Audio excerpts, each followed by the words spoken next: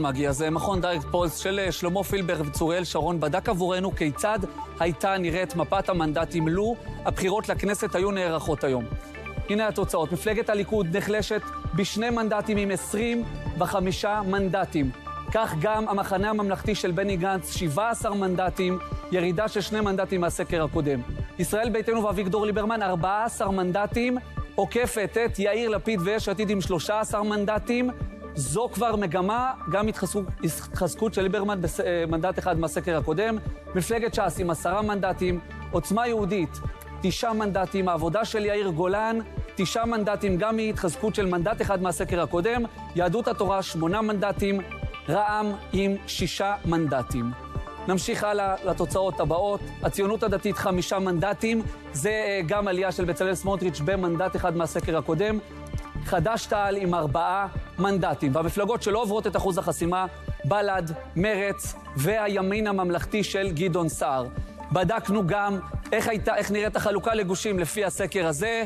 57 מנדטים לגוש הימין, 53 מנדטים לגוש השמאל ועשרה מנדטים למפלגות הערביות. שאלנו גם את הבוחרים מי מתאים ביותר לכהן היום כראש הממשלה בין שני האישים, ראש הממשלה נתניהו, בנימין, ראש הממשלה נתניהו ובנימין גנץ? התשובה, 43 אחוזים בנימין נתניהו, 34 אחוזים בני גנץ, ו-23 מהנשאלים השיבו אף אחד מהם. בין שני האישים, ראש הממשלה נתניהו ויאיר לפיד, שימו לב, ראש הממשלה נתניהו עם 45 אחוזים מול 32 אחוזים שתמכו ביאיר לפיד, 23 אחוזים מהנשאלים השיבו, אף לא אחד מהם. מרתי, תודה רבה. נאמר עכשיו שלום לשלמה פילבר שמצטרף אליהם, שלום לך.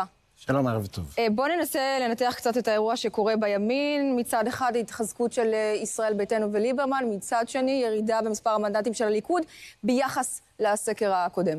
נכון. אנחנו רואים עכשיו, אנחנו מדברים כל הזמן פחות או יותר על יציבות בין הגושים.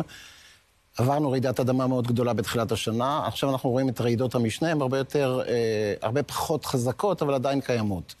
אה, השבוע היה שבוע לא טוב לממשלה מבחינה ביטחונית, היה גם אה, את השריפות בצפון, היה גם את הפגיעה בחיילים אתמול, יש תחושה של תסכול גדול, בעיקר בימין, ואנחנו מיד רואים את זה. הליכוד מפסיד שני מנדטים, הייתי אומר שהימין הדתי עובר לסמוטריץ', מנדט אחד, והימין החילוני עובר לליברמן. בעצם, בגלל שהם נתפסים היום כהרבה יותר רדיקליים ולוחמניים ותוקפניים. ואיטנטים, כן. אפשר לומר, הייתי אומר שהמונולוג שנתת פה לפני שלושה-ארבעה ימים עשה את שלו כנראה והשפיע על ה... ואם נדבר רגע, הזכרת את השר בני גנץ, האולטימטום של גנץ נמצא מעבר לפינה והוא מדמם מנדטים ליאיר לפיד. אנחנו בעצם רואים, הרבה פעמים אנחנו רואים בסקרים כבר, שהציבור מתארגן בהתאם לתחזיות של מה שהולך לקרות.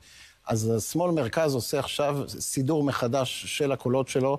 ראינו את זה בהתחלה עם יאיר גולן, ברגע שהוא נבחר, אז גוש השמאל כן. התרכז, ועכשיו אנחנו רואים בעצם את בני גנץ ממשיך להחזיר את המנדטים לשותפים שלו. כרגע, וזה מעניין מאוד, פעם ראשונה, שאנחנו רואים בעצם שני מנדטים שעוברים מבני גנץ חזרה ליאיר לפיד. בעצם בתחילת המלחמה, בגלל שבני גנץ נכנס מתחת לאלונקה, הוא קיבל עשרה מנדטים כמעט מיאיר לפיד, ועכשיו הוא מתחיל להחזיר אותם. לכל מיני כיוונים, וגם ליאיר לפיד. סולל.